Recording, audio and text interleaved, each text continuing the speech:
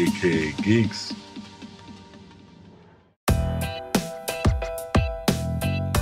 Hey everybody, welcome to AK Geeks. This is Reel News. I'm your host, Sean.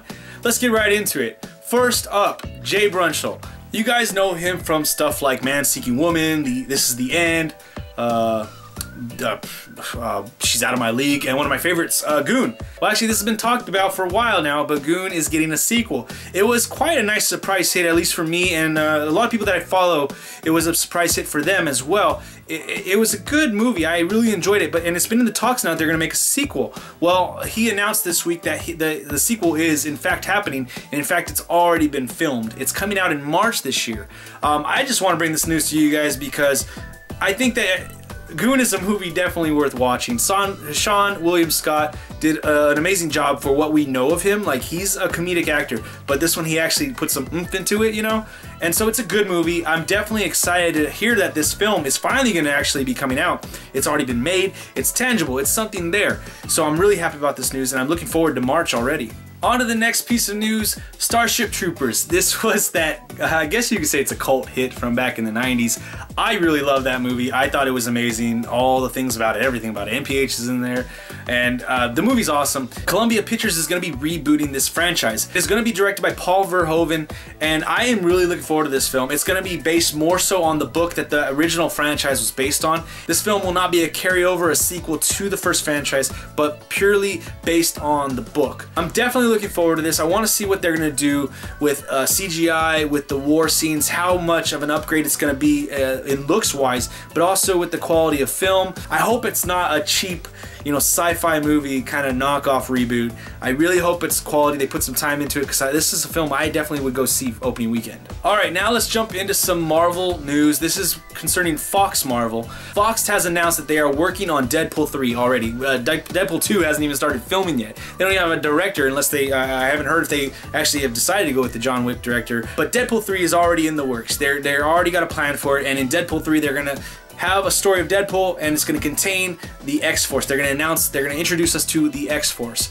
I'm really interested in that. I, am definitely happy with this route. Instead of trying to make a full-blown X-Force movie, first and foremost, you know, introduce some of the characters, show us what X-Force is a little bit, and then we could dive into it later after we have an affinity to these characters. That would be really cool. Also announced this week that Simon Kinberg, he's been writing a lot of stuff for Fox for their Marvel uh, properties. He is going to be working on rebooting the X-Men franchise. He's going to be working on a script script and, and essentially where this new reboot is going to go. He's going to be leaving room in this supposed script for James McAvoy, Michael Fassbender, and Jennifer Lawrence for their characters supposedly to reprise their roles. I am of a different mindset for this. I'm at the point that if you're going to reboot this franchise, which you've already done a soft reboot of, if you're going to reboot it, just reboot it. You already have a movie next year starring Hugh Jackman and Patrick Stewart, Logan, where it looks like this is going to be the end of the timeline at least. How about we go from there, let that close, let, let, let that book end all these these these awesome X-Men movies that we've got, and and let's start anew with going off of the Deadpool franchise. Um, that would be awesome. I wish they could do that. You already have a, a, a lighter tone, but at the same time, you can still have serious stories. And at that point, you can then recast all these characters. You won't have any confusion of who's who and what's what, of what stops where and what starts where. I think if you're gonna do this reboot, you gotta do it, you gotta be in all the way. You can't do a soft reboot again. This is what's been stated, and that's what they're thinking about. Like what I said about keeping the door open for these characters, just shut the door. Let's move on. It's been a great run. I've enjoyed all those movies, but there's a there's a point where we're kind of at the end of this this roller coaster ride. Alright guys, now jumping into actual MCU news. Kevin Feige had a few interviews this week and he stated a few things that I think everybody should know regarding the state of the MCU. First off, Phase 3, we still have quite a few films left in this Phase 3. It goes a lot longer than you think. I think there's about 7 or 8 films left. As of right now, we don't exactly know, uh, the public, we don't know where Phase 4 is going. But Kevin Feige said, fear not, we do know where we're going with Phase 4. We just can't talk about it yet because it would be a bit spoilery for uh, what's going on still in Phase 3. I appreciate the honesty. I thank I thank him for letting us know that. And, and I, I do think it's true because I don't want to know who lives and dies at the end of Infinity War. I want to be able to go in and be surprised. I don't want to be like, oh yeah, well, he's in Phase 4, so he can't die. This week he also had an interview where he confirmed who a few actors are in a few movies. Uh, Michael Keaton in Spider-Man Homecoming. I'm really looking forward to this movie. Tom Holland did great, but Mike Keaton, we've been wondering who is he going to play? Who is he going to be? He is to be the Vulture. It had been rumored that he was to be the Vulture, and it is now official. Also, Cate Blanchett, she's been uh, on the Thor Ragnarok movie for a while now. Who is she to be? She's to be Hela. Again, that had been rumored as well. I'm really looking forward to these actors in these roles. I think that they're both great actors, and I am just really excited for this. I'm, I'm excited to now learn who they are playing, to see where these, I can theorize even more now, so uh, to see where they're to go. I'm really looking forward to these films. All right, guys, now on to the trailer segment this week. This week, there were two trailers that caught my attention. First off is the movie Office Christmas Party. This film looks like it is going to be a really good Christmas comedy. I'm so happy for this. Last year we had um, the, the, the, the, the, the, night before with uh, Seth Rogen and, and those guys.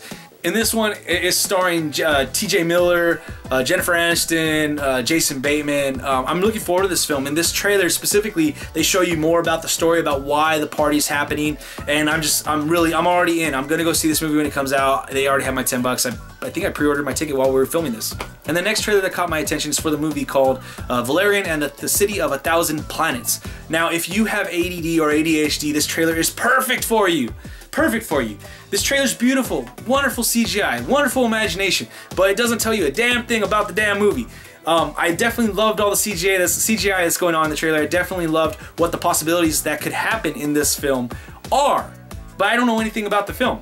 Um, it was beautiful. It was always going on to the next cut every two seconds. So, for like I said, for those of you with short attention spans, and this is a trailer for you. This film is starring uh, Cara Delevingne and Dane DeHaan. Um, so yeah, we have a great actor in Dane DeHaan. Uh, I am not so fond of Cara Delevingne, um, but it looks interesting at least. It looks like it's full of imagination. It's very colorful, beautiful CGI. So uh, let's see some more trailers. I want to find out more about this movie before I'm totally in.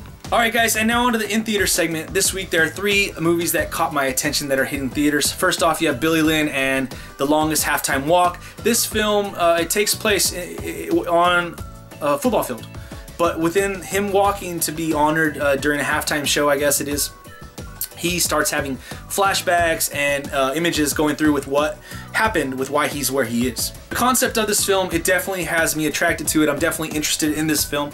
I don't know if I want to see this one in the theaters. I think this is something more for me for Redbox for Movie of the Week in the future as soon as it comes out. But um, it's definitely interesting. I'm looking forward to this one when it comes out. We are getting to that time where Christmas movies are coming out, so we have our first one this week, at least in my opinion. It's called Almost Christmas. It's also starring Danny Glover, Gabrielle Union, and a bunch of other people. Um, it looks interesting. It looks like there are some funny moments in the trailer. Um, this, again, is not something I would go see in theaters, but something I would get from Redbox or Netflix when it comes out. But there is that. I love Christmas movies. I, I just love seeing that time of year, even though it's fake snow, I love seeing that on the ground in the, in the films. And last film that comes out this week that definitely caught my attention is called Arrival. This one is starring uh, Jeremy Renner, Amy uh, Adams. This one looks amazing. I'm hearing nothing but good reviews about it, and I'm really, really looking forward to this. I really want to go see this one. I think you guys should too. It's uh, Thinking Man's Independence Day, I guess you could say. Um, no Will Smith, no Harry Connick Jr., um, no Jay uh, Usher, whatever his name is.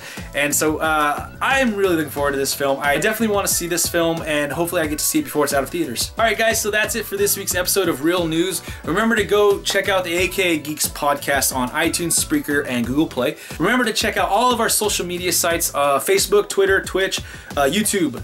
And for this video, you guys, I'm done for today. Remember to click the like, share, subscribe buttons down below. Leave your comments, questions, suggestions in the comment section. Let's have a great conversation this week about all the topics I covered, and I'll see you guys next time.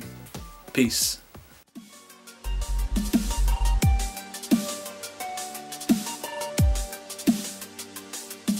Aka Geeks.